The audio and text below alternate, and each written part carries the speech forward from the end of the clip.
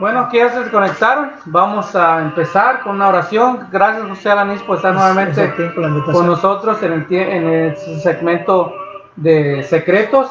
Es que te invitamos que te conectes, que empieces a compartir tu eh, este programación para que lleguen a las personas que creemos que la necesitan. Yo creo que todo el mundo lo ocupamos, pero a veces en nuestra mente dice, ah, este tema como que le va a servir bien a... Y siempre, siempre viene a nuestra mente, mientras estamos estudiando, viene a nuestra mente nuestros conocidos, nuestros compañeros de trabajo, nuestras familias, ¿verdad? Y esperamos, ojalá se conecte, ojalá se entere que vamos a estar esta tarde compartiendo este tema. Así es que vamos entonces a entrar en este tema, José. De Vamos a orar. ¿Podrías orar? Claro que sí. Vamos a orar. por favor, acompáñenme ahí en el lugar donde estén. Este, apártense un poquito de, de, otras actividades que estén haciendo para empezar el tema y bueno, nos acompañen inclinando el rostro para orar. Padre nuestro que estás en el cielo, santificado sea tu nombre, Señor. En esta tarde te damos gracias, Señor, porque nuevamente nos has permitido reunirnos para compartir el tema de hoy, Señor. Señor, te pido que hagas una bendición especial para cada una de las personas que nos van a escuchar, Señor. Y te pedimos que abras el entendimiento, Señor. Y que esta tarde no se vayan, no se vayan pensando que el Señor no estuvo con nosotros. Que confiemos, Señor, en nuestro corazón de que esta tarde el Señor dará el mensaje a través de nosotros. Que Él es el que va a hablar con nosotros, Señor. Nosotros solo somos los instrumentos para presentar el tema que Él quiere dejar en, en el corazón y en los oídos de las personas. Te pedimos que nos bendiga, Señor, y nos acompañes durante esta tarde. Te lo pedimos, Señor, en el bendito nombre de Cristo Jesús. Amén. Amén. ¿Y de qué vamos a hablar? ¿Cuáles son los tópicos que vamos a tomar, José? Mira, los tópicos, el, tema principal es preparémonos, para, preparémonos para, el, para el cambio. Y uno de los tópicos es cómo prepararnos para el matrimonio. Mm. El tópico número dos, cómo prepararnos para ser padres. El tópico número tres, cómo prepararnos para la vejez y el cuatro y el más delicado, cómo prepararnos para la muerte. Wow.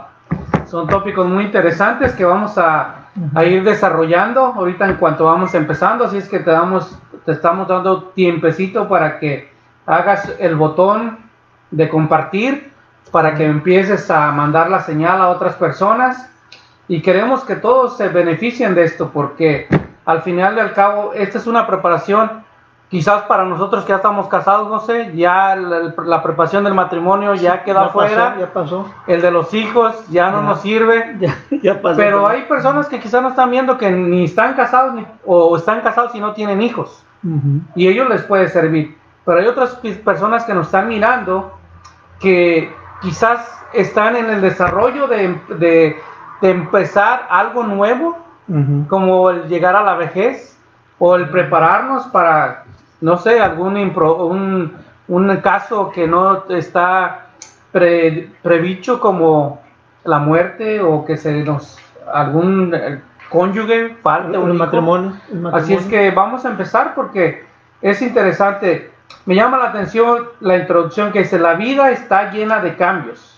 Las cosas cambian todo el tiempo. Lo único que no cambia es la misma realidad del cambio. Hasta parece como como si fuera un trabalengua, ¿no?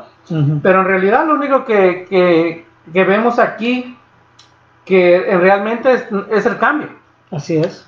¿Cuál es? Eh, hay un tema, hay un versículo de memoria, ¿no? Para, o un versículo para compartir para, las personas que están viendo. Dice el Salmo 85, 13, dice, la justicia irá delante de él y sus pasos nos pondrá por camino.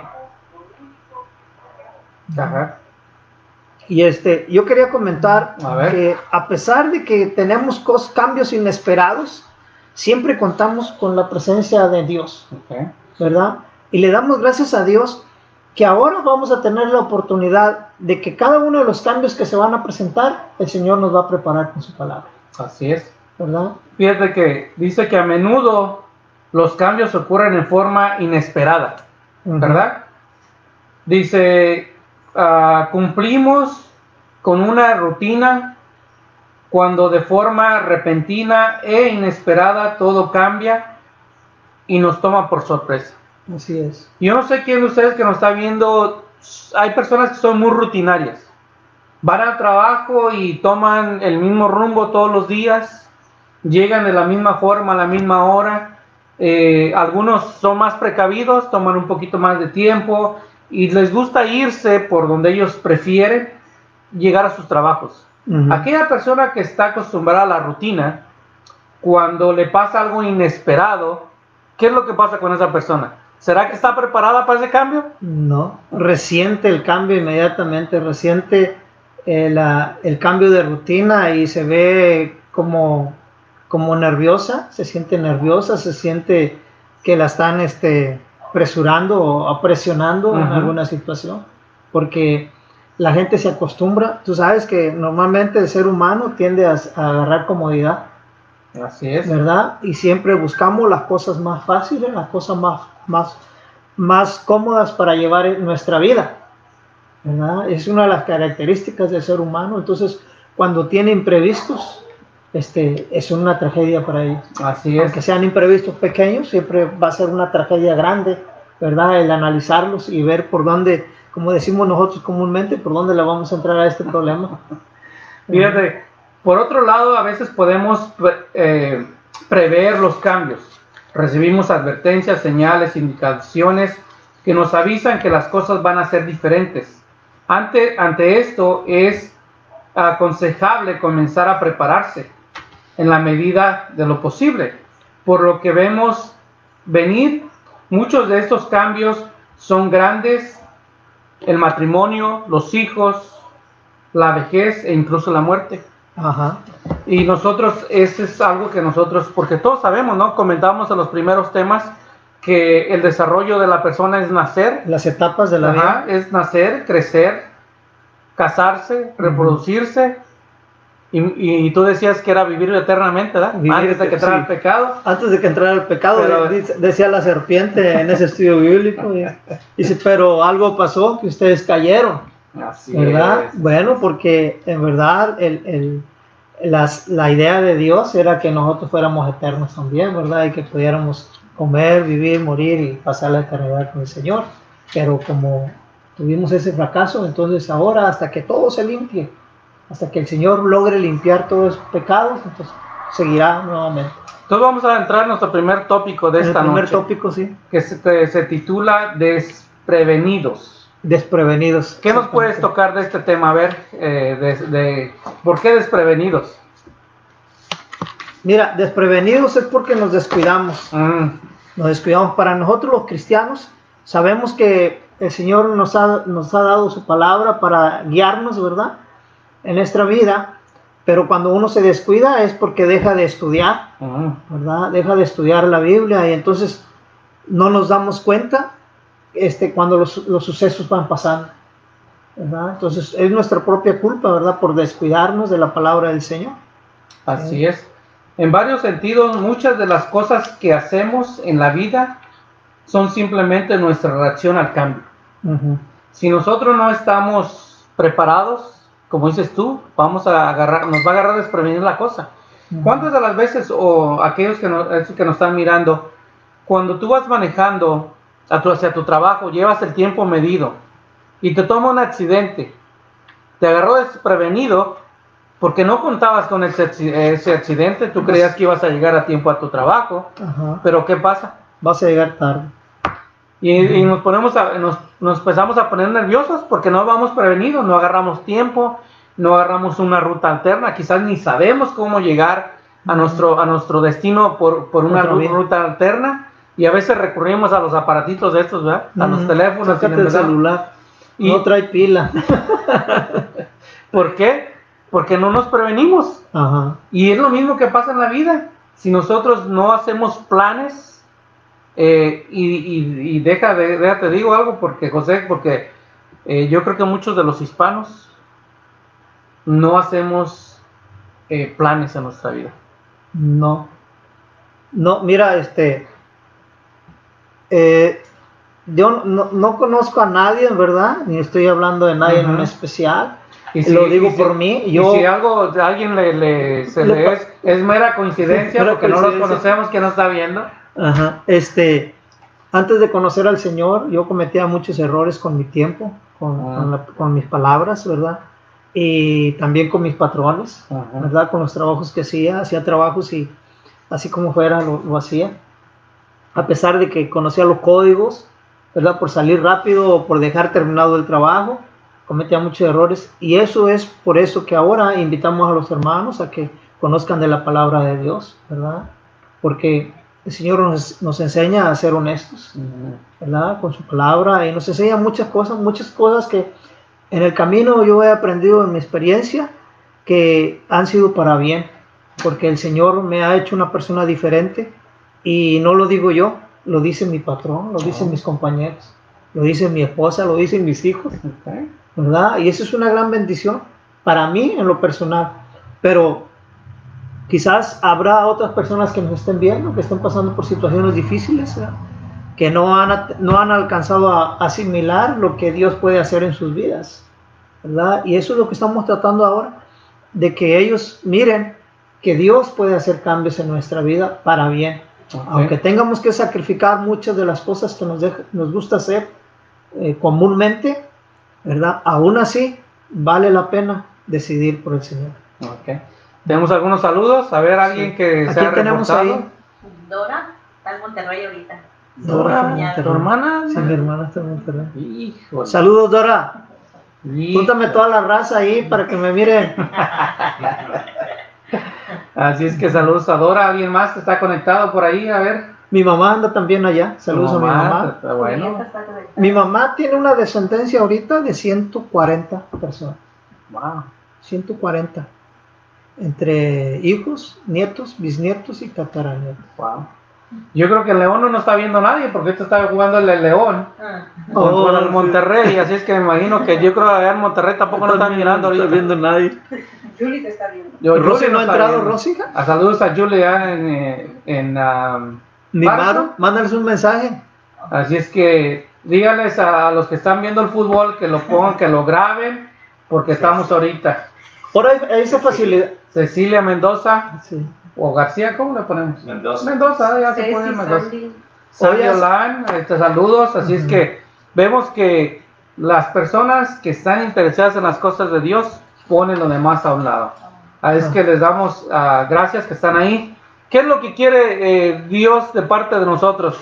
Aquí hay un, vi que tengas ahí algo subrayado. A ver, sí, léeles eso a, nuestra audiencia. ¿Qué, qué quiere primero Dios? yo quiero explicar lo que Dios, lo que Dios hace en su palabra, ¿verdad? Dice, si hay algo que tiene la palabra de Dios es que expone con toda dureza y a veces con todo el dolor y la desesperación las realidades de la vida humana. ¿Verdad? Este, lo tiene que hacer porque lo hace, por ejemplo, para mostrarnos, ¿verdad? Para mostrarnos y para advertirnos todas las cosas que pueden pasarnos si no este, estamos bien con el Señor, si no tenemos esa comunión con Él. ¿verdad? Y también explica aquí de las, de las advertencias, ah. ¿verdad? En el, vamos a la cita bíblica, vamos a ir a, a Corintios 10.1 al, al 13. Está en esas citas bíblicas de 10 al 1 al 13, pero solo tengo subrayado lo más importante. Vamos a ver algunas advertencias que el Señor tiene para con nosotros.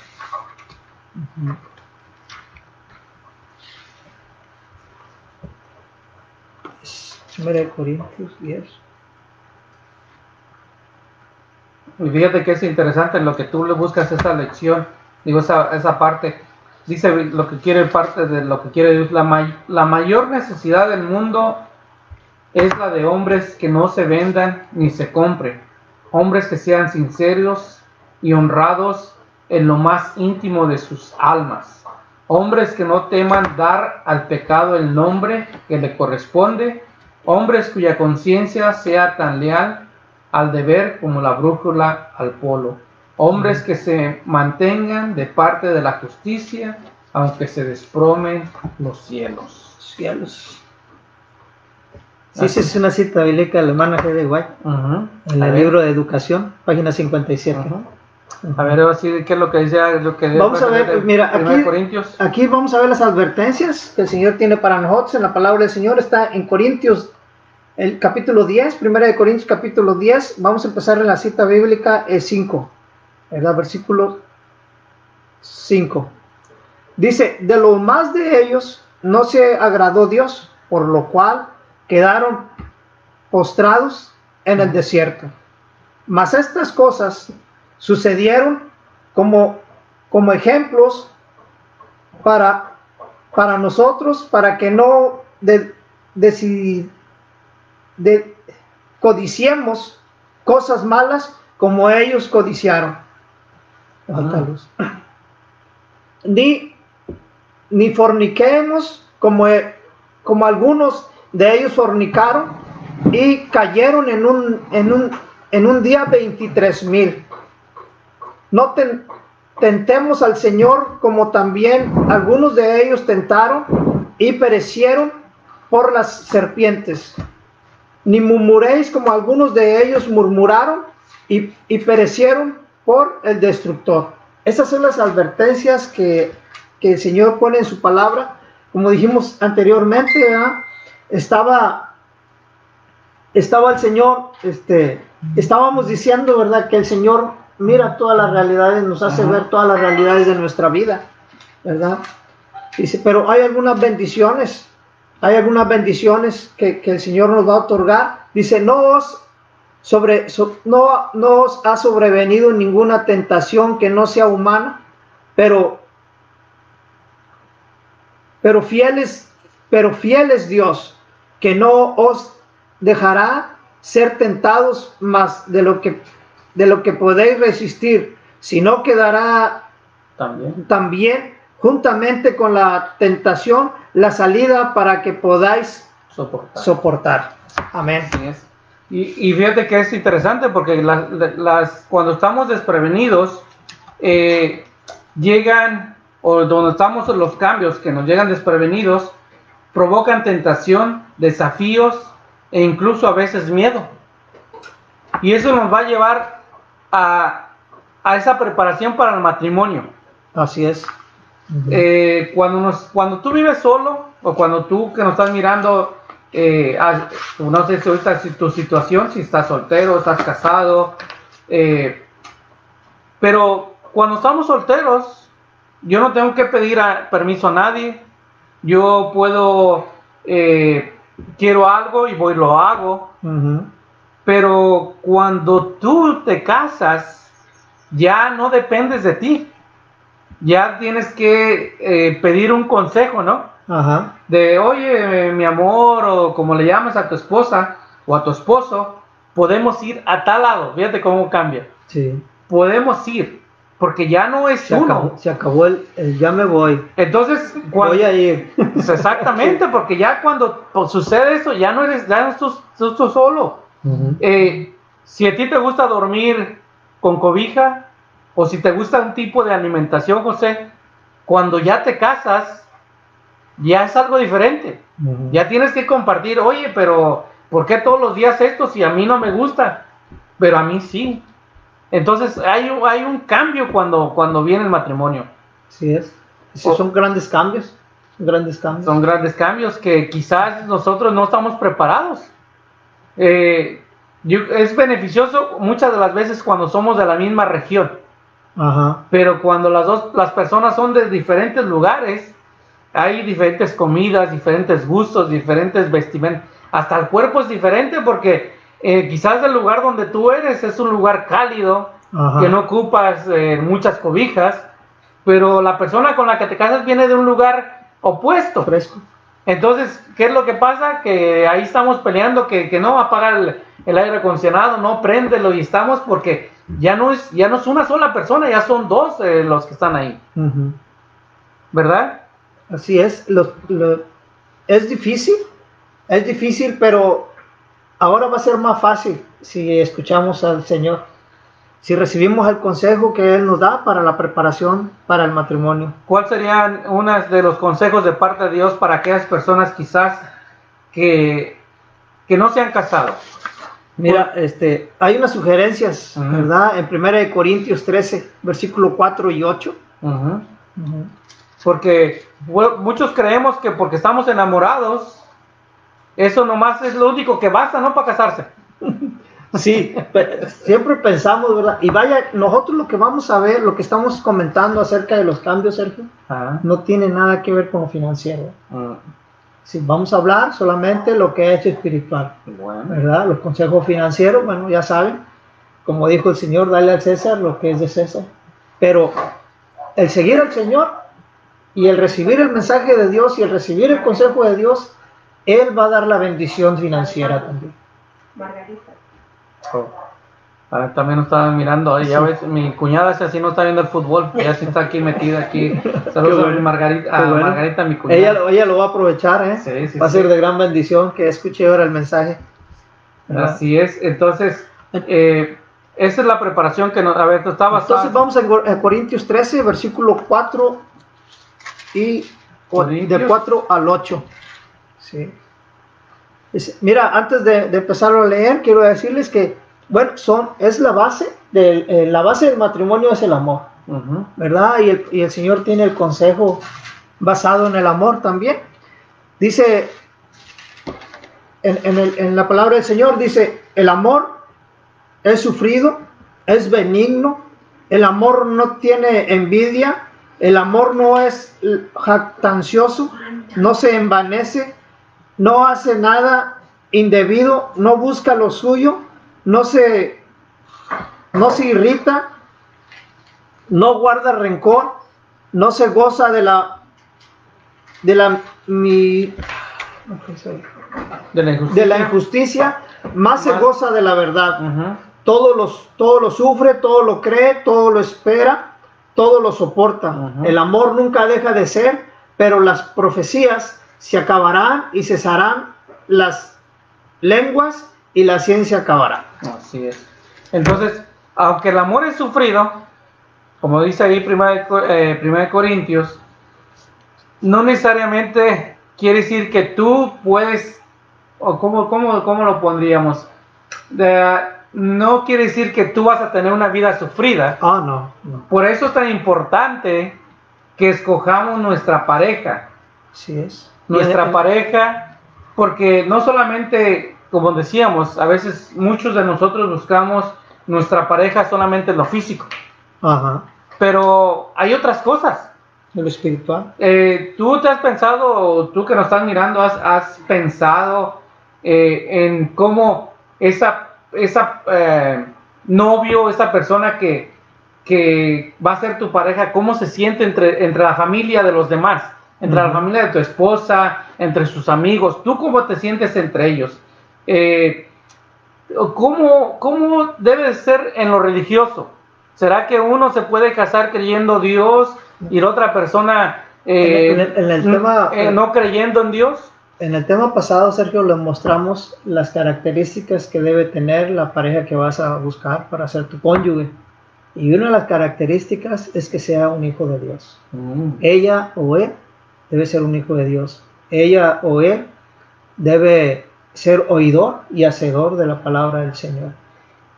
A veces es difícil, pero si lo hacemos, si lo hacemos, este, buscamos de esa manera, va a ser de gran bendición para todos. Va a vivir bien el matrimonio, va a vivir bien los padres, los padres de él, los padres de ella, y toda la gente que los rodea siempre va a estar bien y siempre va a ser una felicidad ver a esas personas, porque la bendición de Dios es muy grande. Dice Rosalia que aquí estoy Uh Rosalia Gusto acá, acá también tengo aquí, acá tengo a, Juan López, saludos sobrino también.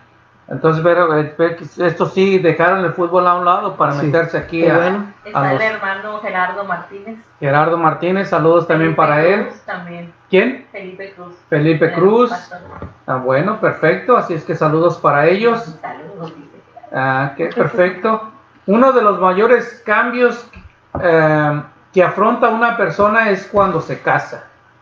Por cierto, no todos se casan. En la Biblia ya hemos visto que hay unos que no se casan. Pero los que se han casado y han llevado las cosas como va, como de acuerdo a lo que dice Dios, la llevan mucho mejor que aquellos que han ido por... ¿Te acuerdas de Salomón? él, él conocía de Dios, él siguió un tiempo las cosas de Dios, pero se desvió. Sansón Sansón también. ¿Qué dijo aquel amigo? Dice, no, pues eh, eh, ve, pide a esta mujer que es la que agrada a mis ojos. O sea, mucho, tiene que ver mucho más de, lo físico. Si es una persona que, que va de acuerdo con lo que yo creo, de acuerdo a lo que a mí me gusta, de acuerdo eh, a lo que a ella le gusta, si yo también puedo, porque en el, en el noviazgo, José, dicen que somos como los uh, camaleones, ¿no? Nos, nos, uh, nos hacemos como le gusta a la persona, pero una oh, vez que ya la tienes en el, en el nido, como que ya le cambias. Entonces, todas esas cositas debemos de ver, o deben de ver ustedes, los que no se han casado. Los que no se han casado. nos casamos, pues ya nosotros, pues ya tapamos los ojos y seguir para adelante. Hay historias de jóvenes que han llegado a la iglesia para casarse. Y han llegado a la iglesia este, engañando a las personas. ¿Verdad? Porque ha sucedido que se llevan a las muchachas, se casan con ellas y a las dos, tres semanas vienen a la iglesia y dos, tres semanas después ya no las dejan venir a la iglesia. Entonces, es bien importante que, que sepas distinguir cuando la persona verdaderamente tiene una vida espiritual, tiene una reunión con el Señor. Y vamos a dejar unas preguntas aquí para los que nos están viendo. Eh, fíjate que, y eso lo no, no, te voy a dar la respuesta, te voy a hacer la pregunta, te voy a dar el pasaje bíblico, tú lo buscas para que tú puedas darte por tus propios ojos, te puedas ver lo que dice. Eh, la preparación para el matrimonio debe comenzar con nosotros en forma personal e individual. ¿Correcto? Así es. Eh, al mismo tiempo tenemos que observar cuidadosamente a nuestro futuro cónyuge para ver si será un buen complemento para nosotros. Porque nosotros sabemos, dice la palabra de Dios, que Eva fue un complemento de, Adán. Así que no es, tu pareja es un complemento de lo que a ti te falta. Eh, ¿Verdad? Entonces, ¿es trabajador? Busca en Proverbios 24, 30 al 34. ¿Tiene mal genio? Ten cuidado, Proverbios 22, 24. Compartimos creencias en comunes, segunda de Corintios 6, 14 y 15. ¿Cómo se siente mi familia y mis amigos con mi futuro coño? A veces no, tomamos en cuenta. Nosotros, los, bueno, los tres que van a estar, Proverbios 11, 14. ¿Recurro a la fe o me baso únicamente en los sentimientos? Proverbios 3, 5 y 6. Así es que aquí tú puedes encontrar respuesta. Si a veces nosotros, no sé, no sé, en tu experiencia personal, vemos que nosotros cuando nos casamos como que decimos, la, mi pareja como que la agarramos como un proyecto, como cuando agarras un trabajo, ¿no? Que si no haces esto, yo la voy a acomodar, yo lo voy a domar, yo lo voy a hacer, y lo hacemos como si fuera un proyecto. Pero en realidad, si nosotros viéramos eh, eh, toda la persona en, en lo que es, no tendríamos necesidad de eso. Porque si sabemos que, la persona toma y le gusta esto, y cuando se case conmigo la va a cambiar. ¿Será que podemos hacer Cuando nazca el primer niño va a cambiar. ¿Será que podemos, no sé, a ver qué nos platicas tú, experiencia, cómo Mira, es, todo ese asunto? Es, es, bien difícil. Yo hasta ahora que he estado leyendo todo esto, ¿verdad? Todos estos temas, este, el Señor me ha dado esa sabiduría, ¿verdad? Y como decíamos hace rato, si hubiéramos aprendido cuando éramos jóvenes, no hubiéramos hecho tantas tonterías. Yo pasé mi, desperdiciando mi vida en el pasado y, este, y hice muchas cosas malas eh, eh, desde mis solterías. Desde mis solterías hice muchas cosas malas y cuando me casé también. Entonces, este, solo Dios sabe, ¿verdad? Solo Dios sabe todas las cosas que Él me ha perdonado. Dicen que el que Dios perdona mucho, mucho lo sigue. Y yo he estado, este, precisamente hoy estaba recordando con mi esposa, en el, en el, 20, en el 2001 llegamos a este país, ¿verdad? Y el sábado me pasó algo, el viernes me pasó algo bien curioso, mira, el viernes se acercó mi, mi jefe inmediato. En este proyecto donde estoy yo, este, le doy servicio a varios formes de la misma compañía cuando ellos requieren este, que yo tenga que meter tubería en las trenchas, underground le llama, me llaman a mí. Y cuando quieren algo rápido, que hay que tumbar cajas y reparar y, desconectar, háblale a José y ya voy, yo les hago. Y el, yo trabajo para tres formas, ¿verdad? y trabajo solo, no traigo aprendiz, no traigo nadie que me ayude. Y yo traigo toda mi herramienta y me dicen, vete para acá, medio día y medio día acá, bueno, ¿verdad? Gracias a Dios, este, no hay otra persona en el trabajo que haga lo que hago yo y eso es lo que me ha mantenido ahí firme. El viernes me dijo uno de ellos, me dijo, José, vengo a preguntarte si tienes mañana a trabajar. Le digo, no. No, entonces yo andaba muy ocupado terminando ese trabajo con otro forme. No le dediqué mucho tiempo, ¿verdad? Y se fue. Solo le dije que no, que no podía. Y este, y entonces con el forme con el que estaba trabajando, él sí sabe que yo no trabajo los sábados. Y me dijo, José, ¿todavía no trabajas los sábados? Y le digo, no, todavía no. Todavía no trabajo los sábados. Este, ya cumplí 11 años. 11 años. Eh. Entonces andaba una aprendiz al lado de mí que habla español y me dice, tienes 11 años que no trabajas en un sábado. Le digo, déjame hacer cuentas. Y en ese momento hice yo cuentas. En el 2007 yo me gradué de, electricista general, ¿verdad? Por el Estado. Y ese día que yo me gradué, ese día decidí no volver a trabajar en sábado. ¿Verdad? Eso fue en el 2007, octubre del 2007 y a partir de ahí no volví a trabajar ningún sábado. Entonces, este octubre cumplo 13 años que no trabajo en sábado. Y me dice el muchacho bromeando, yo tengo un año que no trabajo ni el sábado ni el domingo, que no me invitan a trabajar. ¿verdad? Pero este, a partir de ahí este, tomé muchas bendiciones por el Señor. ¿verdad? Muchos compromisos que he hecho con Él. Este, te voy a decir que Dios para mí es, es mi amigo, es mi confidente es este, es el que me hace el paro en todo, ¿verdad? Las cosas que necesito. Cuando, le cuando llego tarde, cuando no puedo hacer un trabajo, cuando me falta herramienta, todo, con mi familia. Eh, les platico yo a los, muchachos en el trabajo, le digo, es que, porque ellos me dicen, tú siempre andas este, de buen humor, andas, hagas lo que hagas, tú andas de buen humor siempre. le digo, es que este trabajo es el trabajo que Dios me ha dado para cuidar mi familia, para mantener mi familia. Y estoy muy a gusto que Dios eh, me, tiene, me tiene con Él. Amén.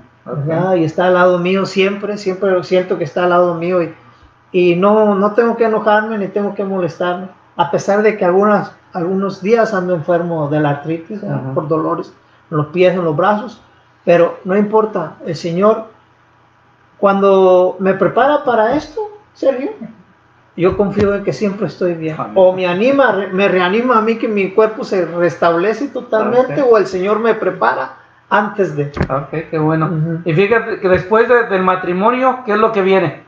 Después del matrimonio, los hijos.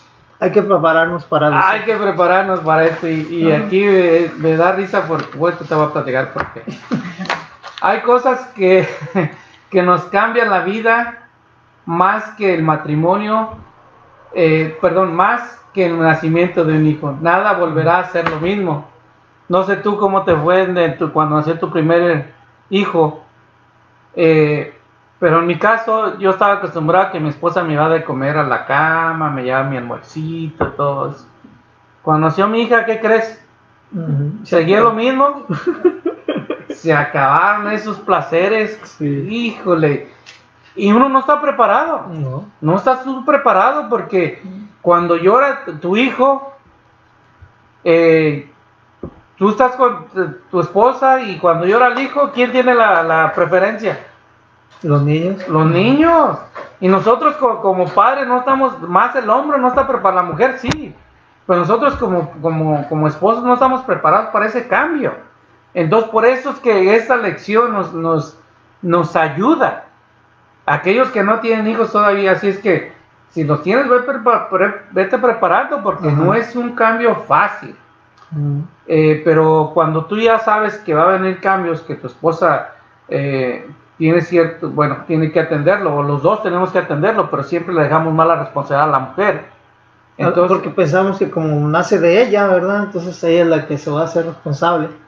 Pero en verdad es una responsabilidad de los dos. Sí. ¿Verdad? Desde la preparación desde la preparación este, hay que orar por nuestros hijos. que estamos pensando que van a venir los, dos, los dos padres, el, papá y la mamá, unirse en oración, ¿verdad? Para que el Señor les dé niños sanos, que es lo que siempre pide uno, que tengan buena salud, ¿verdad? Y que, y que sean buenos hijos, ¿verdad? Así es que por este eso, por eso les invitamos a los que nos están mirando que, que compartan esto, este, estos mensajes. No solamente el de hoy lunes, porque tenemos varios. Sí. Y pues ahí me pasaron un, un mensajito que ya van los martes, también vamos a meter algo. Oh, sí, también. También vamos a meter algo, así es que, pero mientras. Entonces no por nada viene el coordinador acá, ¿verdad? Está el pastor Juan Quiroga. Oh, saludos para el pastor. Saludos, saludos, pastor. Está Ceci Castro, Ceci Gaona, Mari Carmen, la hermana Roselia. Se está viendo de lo que dice. bueno, saludos a todos ellos. Uh, Así es que de esta forma, ¿no? Mira, la preparación, este, hice algunas notas. A ver. Cómo prepararnos, cómo prepararnos para ser padres. Para aquellos que no tienen hijos, a ver. Sí, entonces hay tres aspectos que ayudarán a cumplir el propósito de Dios en nuestros hijos. Primero, tenemos que orar por ellos, ¿verdad? Y este, y segundo, la preparación física de la madre para recibir a sus hijos, ¿verdad? Ella tiene que este, estar preparada físicamente y dar el tiempo, preparar el tiempo que va a tener para, para cuidar la criatura. ¿verdad? Y, la otra, eso es para los dos, preparación espiritual de ambos padres. Ajá. Fíjate que hay un consejo en el Salmo 127. y yo, yo, tengo aquí otro que está escrito en, en, el, en el libro del hogar cristiano, ¿verdad?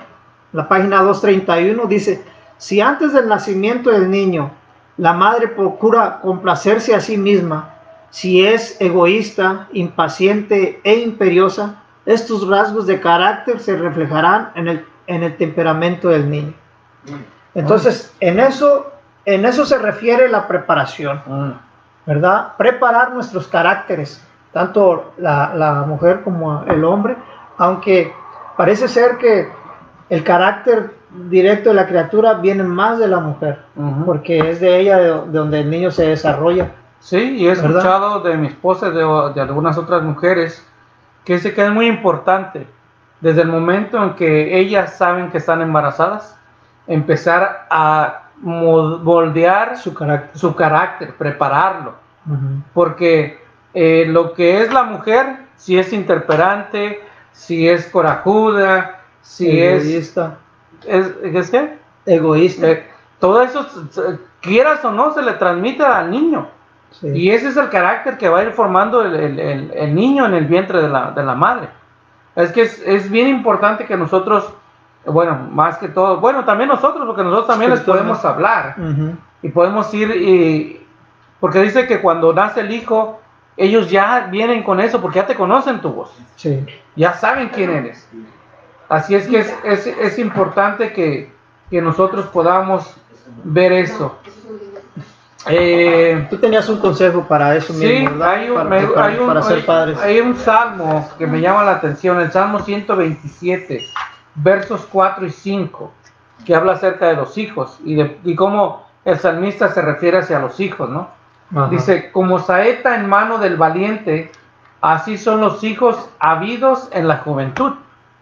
Y el, verso 5, bienaventurado el hombre que llenó su, su ah, aljaba de ellos, no será avergonzado cuando hablare con los enemigos en la puerta. ¿Por qué? Es interesante, ¿no? Si tú tienes hijos, ellos te van a respaldar, pero también depende cómo tú los hayas educado. Porque sabemos que hay hijos que, que son mal creados, que son rebeldes, pero todo tiene que ver con la comunicación que tengamos con ellos. ¿Verdad? Así es que te, comentaba, aquellos que nos están viendo, eh, tenemos el día de mañana, no, no, mañana no, todavía no, todavía los miércoles, todos los martes no. Pero se están haciendo preparativos, para tener un tema el martes también. Pero los miércoles tenemos a las siete y media. A las siete y media este, grupos, grupos virtuales, grupos pequeños virtuales. ¿Con quién? Con el Aula 7 y los jueves vuelvan los secretos, secretos, ah, aquí mismo. ¿Y el secreto se lo damos de una vez? No, el miércoles, el miércoles se los damos. es, es, algo interesante ese... ese Le eh, anuncias el, el, nombre del tema. Ya te lo producción, producción también quiere hacer algo. A ver, producción. Una de las cosas que eh, los mensajes que la Biblia nos da a través de la lectura y el poder tener contacto con Dios es poder leer eh, Proverbios capítulo número 22, verso 6, es en la cual ustedes como padres y aquellas personas que nos están escuchando en este momento, es importante que nosotros meditemos en lo que dice Proverbios capítulo 22 y verso, versión número 26. Estamos haciendo tiempo para que nuestra gente que está escuchándonos a través de las redes sociales puedan ir a la Biblia, porque recuerden nosotros cuando venimos a, a dar los mensajes aquí en secretos, siempre tenemos la Biblia abierta. Entonces, yo me, nos gustaría, así como los que están ahorita ah, buscando este Alanis y también este Sergio, Proverbios 22. Proverbios capítulo 22, verso 6 dice lo siguiente. Fíjense lo que dice. Instruye al niño desde su juventud y aun cuando sea grande, no se apartará de este. Este es un mensaje muy importante para cuando nosotros los hombres, nosotros los padres, ojalá que en el tiempo de Alanis, en el tiempo de Sergio, hubiese podido haber un, un manual de cómo ser padre. Pues déjenme les digo, aquí está el manual de todos los manuales. Proverbios nos enseña de alguna manera cómo poder instruir a nuestros niños. Ahora bien, Sergio mencionaba bien que hay a veces niños malcriados, niños, no hay niños malcriados, hay niños mal educados. Así que no es culpa de los niños, no es culpa de los niños, sino de los padres. Si, tú quieres tener un niño bien educado, obviamente lo tienes que disipular, Sergio. Y sí, y, vemos eh, que no hay, no, cuando, cuando tú tienes un hijo no viene con un manual. Bueno, fuera que llegara con un manual, mira, él ocupa esto, necesita esto, tú debes de tratarlo así, pero desafortunadamente para nosotros vamos aprendiendo como vamos teniendo los hijos. Y es por eso el consejo que viene ahora. Si tú instruyes al niño en los caminos de Dios, él va a tener primeramente una reverencia ante Dios y va a tener un respeto ante ti como padres. Como padres y van a tener respeto ante la sociedad, porque él sabe que no está por lo que los ojos humanos lo están viendo, se rige él. Él se rige porque sabe que Dios es el que lo está mirando en todo momento. Ahora bien, el, el, libro de Proverbios nos habla, es una guía extraordinaria para nosotros los padres para poder enseñar a nuestros hijos. Simplemente en Proverbios, el capítulo número 1, Proverbios capítulo 1, hay un mensaje también para nosotros los padres, pero realmente estos mensajes son para aquella gente que dedican el tiempo de poder estar con sus hijos. Y esto es no solamente la tarea de la mujer, muchos de nosotros, en nuestra cultura latina, creemos que ese es el trabajo de la mujer, pero realmente eh, las personas que nos están escuchando tal vez estarían de acuerdo con nosotros cuando eh, llegamos nosotros, los hombres, llegamos a casa y creemos que ya terminó el trabajo de nosotros ahí. Pues déjenme les comunico, les menciono, les digo una cosa. El trabajo de la mujer no solamente es poder cuidar a los niños, sino también al esposo, al que provee. Pero en realidad la pareja, los dos, marido y mujer, tienen tienen la responsabilidad de poder educar a sus hijos. Por ejemplo, ¿qué dice ahí en Proverbios capítulo número 1? Dice, eh, a, ver si no me equivoco. Cita. Verso 1. los, los proverbios de Salomón, hijo de David, rey de Israel, para entender sabiduría y doctrina, para conocer razones prudentes, para recibir el consejo de prudencia, justicia, juicio y, equidad. Aquí si ustedes se pueden dar cuenta, aquí nosotros podemos sacar bastante, bastante material para todos aquellos que tenemos de alguna manera hijos. Prudencia, el hombre, el papá, la mujer, la mamá. Tenemos que tener la prudencia, tenemos que tener el carácter, pero la única manera de que nosotros podamos adquirir ese carácter, esa prudencia, es a través del estudio constante de la palabra de Dios. Este, familia, gente que nos está escuchando hoy en este día de secretos. Este es el manual de la gente que se va a casar. Y fíjate que esto, eh, solamente del matrimonio aquí nos podríamos llevar todo el tema. Sí, de matrimonio sí. Sí, nomás que nos quedan dos temas, dos tópicos más. Dos tópicos más. Y se nos, ya estamos sobre la hora, entonces vamos a tener que, eh, quisiéramos quedarnos aquí en acerca de los consejos estos del matrimonio, pero tenemos que llegar a los otros dos tópicos que nos Así Es. Y se nos va el tiempo. Y se nos va el tiempo. Así es que la preparación para la vejez. Así es, dice, el tópico que sí. Dice Proverbios 90:10, los días de nuestra edad son 70 años, y si los más robustos son 80 años. Con todo, eh, eh, su fortaleza o su fuerza es molestia y trabajo, porque pronto pasan y volamos. O sea, si nosotros, nuestro tiempo son 70 y dice que los más fuertes son 80 años, eh, debemos estar preparados para gozar esos, esa edad que Dios nos dio o prepararnos para la vejez, porque eh, este es un, tiempo donde quizás el, el, tiempo nos va dando eh, advertencias de que ya vamos cambiando, José. Quizás el pelo nos va cambiando de color. y a unos, a algunos otros el pelo se les está yendo. O ya se les fue. O ya se les fue. Eh, o, empezamos, como, como dices tú, con ciertos dolores, nuestros pasos ya no son los mismos, nuestra fuerza ya no es la misma, y la misma vida nos va advirtiendo, pero ¿estamos preparados para eso, José?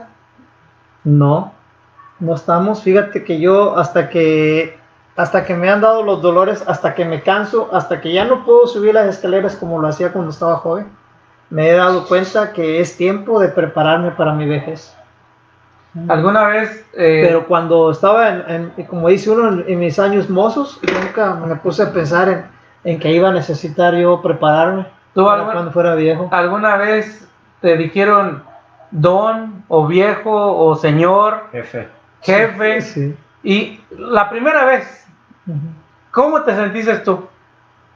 Eh, mira, es, es un poquito eh, ya ahora, ahora me doy cuenta, ¿verdad? Que cuando me decían jefe, me decían que estaba ya pasado de edad, que cuando me decían don, ya estaba pasado de edad, porque yo he sido canoso desde muy pequeño, ¿no? tú eres de los de los sí. es privilegiados que desde joven ya tenía pelo blanco. Pelo blanco. Saludos, Lucina, saludos a mi sobrina que, que se está, que se entonces yo creo que acabó el fútbol, yo creo que ya no están viendo ya en León. Sí. ¿Algún otro saludo antes de y ahora que comento con mis compañeros que me conocen ya hace tiempo en el trabajo, este, me, doy cuenta que sí, que ellos lo decían por, por mi edad, porque ya mi aspecto ya se veía cansado, mm. ¿verdad? Y este, ahora, ahora ya no me duele tanto. Anteriormente, si lo hubiera entendido, sí me hubiera dolido, ¿ah? si hubiera sentido mal, porque estaba joven. No lo entendía. Estaba joven y me decían don, ¿verdad? O jefe pero ahora este que me estoy dando cuenta que me lo hacían por esa me lo decían por esa por esa cuestión. Pero no yo estoy satisfecho señor. Eh, he sido muy feliz. Okay. sí he vivido he vivido de todo verdad y, y, ahora en manos del señor pues él sabe, ¿sabe? yo yo verdad ya no ya no este ya, ya el Señor ha cambiado mi carácter. Ya el Señor ha Saludos también a mi hermano Pablo que nos está viendo allá. Eh, sí es interesante, ¿no? De cómo, fíjate, yo tenía 35 años. Oye, 35 años no es ni, ni don, ni jefe, ni, ni, ¿cómo era el otro? Este, eh, patrón. patrón. Y, y, me fue a trabajar. En el, yo antes quitaba techos, les he comentado varias veces a las personas que nos miran. Y es un, un trabajo pesado estar trabajando en el sol, bueno, la lluvia no, porque ahí no dejan uno, pero en el solazo. Y casi todo ese, ese, ese el, trabajo es para muchachos de, de 20 años, 25, 30, porque es algo fuerte y andar ahí. Y, y yo me, me, retiré de eso, empecé a manejar un trailer y andaba a gusto. Entonces me invitaron nuevamente para volver a ese trabajo. Y pues yo me sentía que todavía que yo estaba, pues, se podía. Bueno, fuerte, ¿no? Regresé, pero pues toda la muchachada de veintitantos años me decía, oiga, Don, ¿y sí, cree, pues, sí cree que puede hacer esto? Don, y pues, no, yo llegué trabajo a mi casa. ¿Tú sí te sentiste mal? Sí, yo llegué con mi esposa y le digo, oye, ¿cómo crees que me dijeron hoy? Pues, ¿cómo? Que Don, y que Don, y, y dije, no, pues, pero viendo la lección, eso nos prepara porque cuando a ti te llaman esa palabra por primera vez, mucha gente se, se, insulta y les empieza a decir de cosas. Y, y, y, cuando llegamos, cuando llegan, hay ciertas personas que llegan a la vejez, José, y llegan con una amargura, que son viejos insoportables. Pero también hay personas que son viejos y no han madurado, no han madurado. Entonces Dios nos prepara para que nosotros seamos moderados, que seamos agradecidos con la edad que Dios nos dio y que la vivamos de una forma que, seamos agradables. Que, que, demos gracias a Dios si nos dio 70 años, si nos dio 50, pues ser agradecidos con Dios. Saludos a la hermana Malo que se conecta desde, desde Colima, así es que saludos hermana. Así una, es que... una, cosa importante, el mensaje que diste al principio, Sergio, en Proverbios capítulo número eh, el que 90, el 90-10 nos, nos, nos, dice, eh, nos dice que en los mejores, en la, en la generación que tú vives es 70 años, esa es una generación, pero los que se cuidan de alguna manera mejor, dicen que pueden hasta eh, vivir 80 años. Correcto. Déjenme les digo una cosa, y ese es el punto de vista de, de aquí de la producción. La vejez es una etapa en la cual nos da la vida la oportunidad de poder enseñar a nuestros nietos a poder hacer las cosas que no hicimos con nuestros nietos. Por ejemplo, Sergio todavía no tiene nietos, pero tiene hijos e hijas que todavía está educando. Más sin en cambio, las canas de Alanis a mí me dice demasiado, me dice experiencia, me dice incluso sufrimiento, me y dice también gozo, porque eh, la manera de hablar de él he visto que Dios ha de alguna manera transformado su carácter y entonces vemos aquí un contraste mucho muy diferente. Una persona que solamente tiene hijos, todavía no tiene nietos, pero vemos también otra persona que después de que tuvo sus hijos, ahora tiene el privilegio de poder educar a sus nietos si bien se lo dejan sus hijos, ¿verdad? Porque eh, es, esa es la cosa. Pero aquí está la experiencia y aquí está lo hermoso que nosotros podemos vivir. Y estamos hablando a aquellas personas que nos están escuchando, tal vez por primera vez por, esta, por estas vías. Yo, nosotros queremos invitarte a que, a, que lunes tras lunes, jueves tras jueves, vengas a este, a este reencuentro, a, estos, a este programa de secretos, porque al final de este programa nosotros hemos de de averiguar y de encontrar ese secreto que a mí me falta hoy en este día. Ahora que estoy viejo, ahora que las fuerzas no tengo, pero una cosa sí, tenemos la experiencia para dejarles saber a aquellas personas jóvenes para que se preparen mucho mejor de lo que se están preparando hoy en día. Así es que ah, dice la hermana Malo que ya compartió, el de este ya está ya compartió este, así es que saludos, gracias por compartirlos, porque gracias a ustedes es que este programa se lleva y gracias a ustedes que están compartiendo estas cosas que a lo mejor a mucha gente le hace falta. Como decíamos, muchos de nosotros no llegó estas cosas a tiempo para nosotros. Así que te voy a invitar, ya se nos está yendo el tiempo, y yo sé, por ejemplo, en México estamos, es una, dos horas. son dos horas diferentes, ya estamos hablando de casi las diez y media. Es que queremos terminar casi a las diez y media para que puedan ir a dormir a gusto. Eh, así es que no voy a leer este, este salmo, pero se los voy a dejar de tarea porque tiene mucho, mucho, mucho significado y mucho mensaje para, para este día de acerca de la vejez. Es el Salmo 71. Y nomás vamos a subrayar ciertas cosas que trae este salmo. Por ejemplo, una de ellas, adquirir un conocimiento profundo y personal de Dios mm. desde su juventud. Salmo 71, 17. Y así te lo voy a dejar para que tú lo, vayas viendo. Dios fue su refugio fuerte, es lo que dice el salmista. Así es que otra de las cosas que trae este salmo, que nos puede ayudar para nosotros, para nuestro cambio hacia la vejez, desarrollar buenos hábitos. Una buena alimentación, ejercicio, agua, sol, descanso y otros nos ayudarán a disfrutar una vida mejor, más larga y con mayor calidad. Mm. Y eso nosotros como adventistas es algo que promocionamos, promovemos la salud sana, el alimentarte correctamente, porque porque es mejor prevenir que tener que después llegar a la enfermedad y, te, van a, te va a hacer peor. Entonces, si tú puedes, puedes prevenir de una forma comiendo saludablemente, tomando agua, saliendo a hacer ejercicio, tomando el sol, es más probable que tú puedas eh, vivir una vida más abundante. Yo me llama la atención que hermanos de nuestra iglesia tienen 85 años y los ves a la gente caminando hasta, una, hasta un kilómetro y medio, dos a veces, y, ellos están, yo me quedo para su edad, yo me quedo así con la huerca. Aprendieron, aprendieron a tiempo a envejecer. Queremos mandarle un saludo a la hermana Montijo de Paso que nos está mirando a través de las redes sociales. Saludos, hermana Montijo y aquellas personas que de alguna manera tienen ya la edad avanzada. Animamos a que puedan refortalecer ese ánimo para la nueva generación. Así es.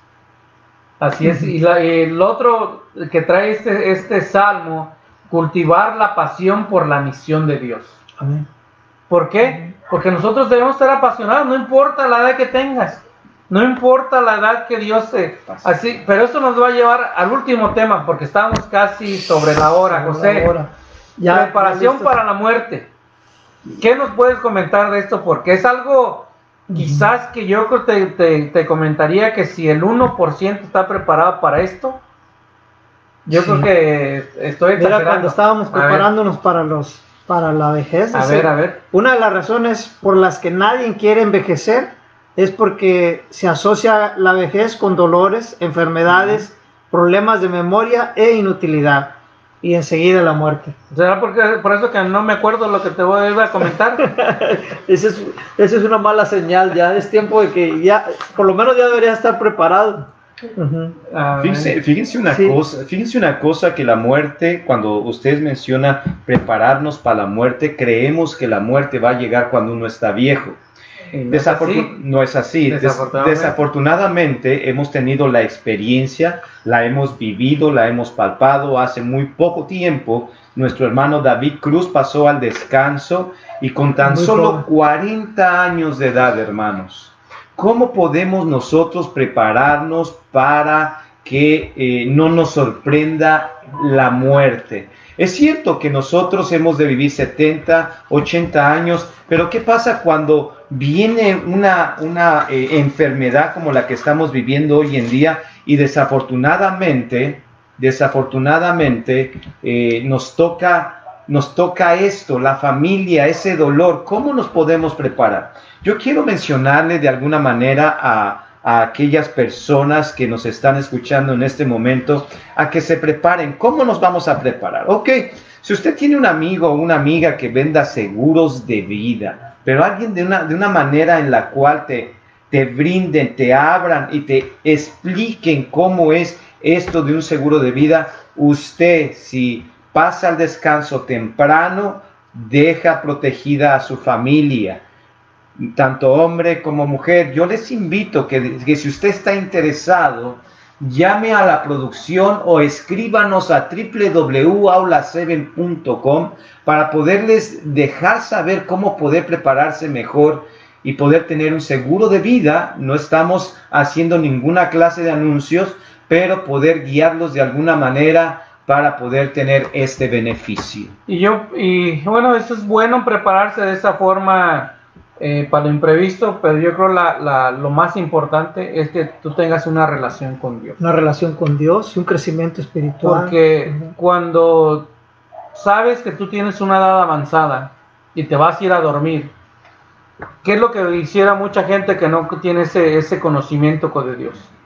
O no, o, no, o no tuvo esa relación con Dios. Se va a ir a dormir llorando, creyendo que va a morir o se va a ir a la cama durmiendo, digo, perdón, eh, esperando que si es la voluntad de Dios, Él ya le dio sus días. Pues mira, a mí me pasó algo en la vida real, ¿verdad? Con una de mis hermanas. Este, ojalá no diga nada a mis hermanos, pero yo viví los últimos días con ella. Ella vivió los últimos días que tuvo conmigo. Y yo ya era cristiano, ya amaba al Señor y yo platicando con ella le dije, ¿qué pasó en tu vida? ¿por qué está pasando esto? Y ahí estaba en agonía. Y me dijo ella, yo me equivoqué. Hice las cosas mal. ¿Verdad? pero tú sabías, y sí, yo sabía. Ahora me doy cuenta que son las consecuencias de haber vivido una vida que no era correcta a los ojos del Señor. Y este, y le dije yo, ¿y, ahora qué va a pasar? ¿Te vas a, te vas a arrepentir? Dijo, sí, me voy a preparar. Estoy preparando para arrepentirme y para entregarme al Señor. ¿Verdad? Y fue cuando la ungimos. La ungimos ya, ya faltaban pocos días. Y este, y los preparativos y todo, pues ya nos, hicimos cargo, los que estamos acá en Estados Unidos, porque ella murió acá. Y este, pero yo me quedé sorprendido de que siempre, siempre tenemos que estar de la mano del Señor y confiar plenamente en que Él es el que va a estar con nosotros en todo momento. Y eso es parte, Sergio, este, es parte de la preparación para la muerte. ¿verdad? Reencontrarnos con el Señor, aprender, ¿verdad? Porque la, la ¿cómo te diré? La, la, tener la confianza en el Señor de lo que Él nos ha prometido. Mira, primera de Tesalonicenses dice 4.16, dice, porque el Señor mismo con voz de mando, con voz de arcángel y con trompeta de Dios, descenderá del cielo y los muertos en Cristo resucitarán primero.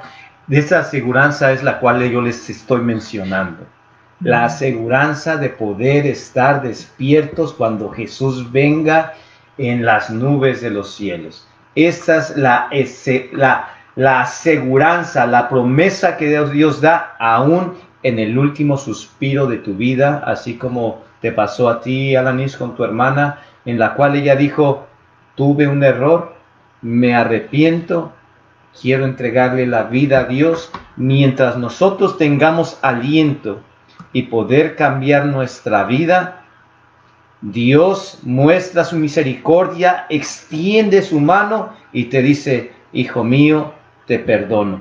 Pasas al descanso. Pero qué bonito fuese, Sergio, qué bonito fuese, Alanis, que en lugar de decir nos equivocamos cuando estamos a, a, punto de morirnos, que, que cuando estamos jóvenes, como estamos con fuerza, con nuestra mente amplia, poder servirle al Señor y tener la seguridad, la aseguranza de poder vivir y volver a ver a mis seres queridos. Sí, porque mira que, como decíamos, lo, ideal sería que la muerte nos llegue en la vejez. Pero hay, sabemos que hay muchas personas, hay como que mencionabas, Terrón, de personas que a los 40 años, a los 20 años, a los 5 años, por al, año, por enfermedades, han muerto. Y eso es algo que inesperado, porque esperamos, todo el mundo esperamos que la muerte nos llegue cuando ya tenemos 80, 100 años, 200 eh, años, no sé cuántos años Dios nos permita vivir. Hasta entonces creemos que, que va a llegar la muerte. Pero cuando llega que tú sabes que eh, llega un día y muere tu padre o tu madre o algún hermano, nosotros no estamos preparados. Pero cuando tú tienes una relación con Dios, va a ser doloroso, pero tú tienes esperanzas de que algún día los vas a volver a ver. Y yo creo, yo te invitaría a ti que nos están mirando, que quizás si tú tuviste una enfermedad o estás, o estás enfermo y Dios te puede sanar, pero ¿qué va a hacer de ti? ¿Vas a seguir siendo el mismo? ¿Vas a, o Dios, eh, te, tú por agradecimiento vas a cambiar por lo que Dios ha hecho en ti? Porque en realidad la vida que nosotros llevemos no es tan... Eh, vamos, sabemos que vamos a morir. Dice el sabio Salomón, que el, vivo sabe que ha de morir, pero tú estás preparado porque nosotros también sabemos que Dios va a venir y nos va a resucitar aquellos que hayamos dormido y hayamos confiado en Él. Pero tú qué estás, qué vas a hacer? ¿Te vas a quedar como estás? ¿Vas a cambiar? ¿O simplemente la enfermedad vino, llegó, se fue y yo voy a seguir siendo el mismo? Este, también la cita bíblica de Juan 11:25 dice, yo soy la resurrección y la vida, el que cree en mí, aunque esté muerto, vivirá. Ah, qué linda promesa, ¿no? Y lo único que tenemos que hacer es poder aceptar a aquella persona que murió por ti, Jesucristo. Así que hoy en esta noche les invitamos a cada uno de ustedes a que forme parte de este equipo en crecimiento y el único propósito que nosotros tenemos es poder dejar saberle a usted el secreto que hay, ahora descubierto, que la vida puede cambiar cuando tú estás con Jesús. Y quiero terminar con esto eh, para que tú te quedes meditando en lo que estamos hablando.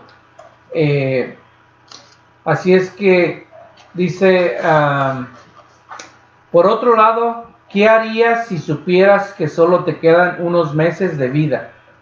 Quizás no, no, eh, sepamos con certeza cuándo nos vencerá la muerte, pero sin duda podemos saber que cuando nos, nos estamos acercando al final de nuestra vida, por lo tanto, es indispensable que nos preparemos personal y como familia para lo inevitable. ¿Qué harías tú si supieras que te queda poco tiempo? ¿Prepararías tu casa? ¿Te prepararías tú? Así es que te vamos a dejar con, ese, con esa, esa pregunta para que tú medites, te autoexamines y puedas contestarte esa pregunta. ¿Estamos listos? Así es que, ¿algún pensamiento final antes de orar, José? Sí, antes de orar. Mira, yo quería nada más comentar que este, estamos en el tiempo, estamos en el tiempo y como sugerencia para los que ya estamos entregados al Señor y para los que no se han entregado, ¿verdad? Dice que debemos de descubrir previamente el propósito de Dios para nuestras vidas, ¿verdad? Cuando tenemos claro nuestro propósito, siempre estaremos trabajando para cumplirlo sin importarnos nuestra edad. Amén. el ejemplo de Moisés es el que estaba, estábamos viendo Moisés tenía 80 años cuando se atravesó el Señor en la zarza y le llamó y le dijo, tu propósito no se ha cumplido, ¿verdad? Ese propósito que llevó a Moisés por 40 años más, ¿verdad? A los 80 Moisés pensó que ya, en la cita bíblica dice, ¿verdad? A volar, ya estoy, ya estoy listo, ¿verdad? Y, y en eso se le aparece el Señor y le da le continúa su propósito, porque el propósito de Moisés estaba desde su nacimiento, ¿verdad? Y entonces era tiempo a los 80 años que iniciara, continuara con el propósito de Dios. 40 años más vivió él para, para cumplir el propósito. Entonces, en total, él vivió 120 años. bueno, entonces... Pero sí es, sí es real que cuando vives vives y, y amas al Señor y, estudias y te preparas y aprendes de su sabiduría, vas a ser una persona diferente, ¿verdad? El tiempo va a estar pasando. Así es. nosotros, nosotros, mi esposa y yo, recordando que desde hace 13 años que no trabajo los sábados, este, me dice ella, ¿y de ahí qué hiciste? De ahí pues, nos fuimos a Santa Clara, trabajamos por la obra del Señor, después nos fuimos a Milpitas, trabajamos por la obra del Señor ¿verdad? Y así hemos andado, pero yo les digo por experiencia, trabajar para el Señor, bueno, tú también lo has vivido así. Trabajar para el Señor es algo, una satisfacción muy grande, ¿verdad? Que a través de eso llega la bendición a uno como persona y a la gente que te rodea también. Okay. Bueno, pues entonces vamos a despedirnos. Saludos a, mi sobrina Margarita, que se, conectó también. A Benjamín Correa, que nos manda saludos. Y dice, saludos hermanos y bendiciones en su ministerio. Octavio que se conectó. Gracias a todos ustedes que, compartieron y a los que no compartieron también. Yo sé que eh, por algo les va a servir. Así que vamos a, tener, vamos a una oración. Que Dios los bendiga. Y recuerden que nos los, esperamos el miércoles 7.30, grupos eh, pequeños virtuales. Y nuevamente el jueves con secretos. Un tópico diferente. Vamos a hablar acerca de se los digo el miércoles. ¿Y la lección del el, tema del lunes? Se lo vamos a poner después porque si no vamos a... Así que quisieras terminar con una oración, José, por favor. Claro, claro que sí. Les invitamos a ustedes que nos están mirando que pueden inclinar su rostro, cierren sus ojos para tener una oración y de esa forma concluir con nuestro tema de esta noche. Padre nuestro que estás en los cielos, santificado sea tu nombre, Señor. Te damos gracias en esta noche, Señor, porque nos has permitido compartir tu palabra. Nos has acompañado, Señor, y esperamos que hayas derramado bendiciones en las personas que nos escucharon, Señor. Te damos las gracias porque tú nos preparas, tú nos apoyas y tú nos envías, Señor, y estamos tratando de hacer lo mejor para tu honra, Señor. Te damos gracias que estuviste con nosotros y que llenes de bendiciones a todas las personas que nos han escuchado, Señor. Pedimos que pueda, podamos nuevamente regresar en un tema siguiente, Señor, y estés con nosotros también. Lo pedimos todo esto, Señor, en el bendito nombre de Cristo Jesús. Amén. Amén.